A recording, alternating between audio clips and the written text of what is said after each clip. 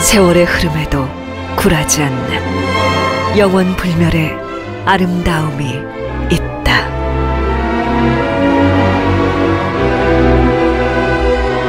미샤 이모탈리스 크리멘 세럼